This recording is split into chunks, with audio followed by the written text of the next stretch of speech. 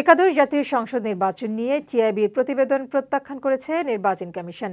প্রতিবেদনের বক্তব্য অসৌজন্যমূলক বলেও মন্তব্য করেন প্রধান নির্বাচন commissioner K M Nurul Huda.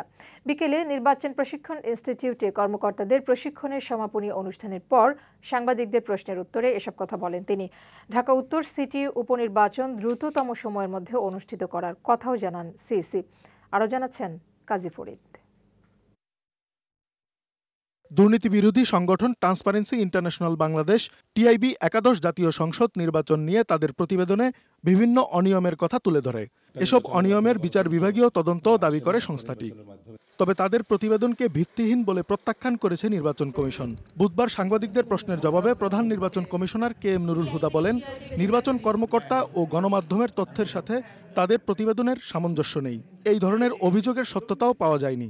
নির্বাচনের দিনে যে তথ্যপত্র পেয়েছি পত্রপত্রিকা তথ্যপত্র পেয়েছি তাতে এরকম কোনো রকমের কোনো অভিযোগ পাইনি। কোনো জায়গায় কেউ এরকম অভিযোগ করেনি আপনারা কখনো দেখান নেই যে এখানে এই এই ধরনের তারা যখন বলেছে সে ধরনের নির্বাচনের অনিয়ম হয়েছে।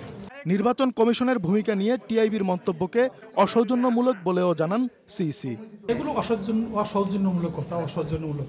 লজ্জাকর বিষয় এই কথাগুলো টিভির বলা ঠিক হয়নি। এদিকে ঢাকা উত্তর সিটি কর্পোরেশন নিয়ে উচ্চ আদালতে রুল খারিজ হয়। দ্রুততম সময়ের মধ্যে এই নির্বাচন অনুষ্ঠানের সিদ্ধান্ত নেওয়া হবে বলেও জানান তিনি।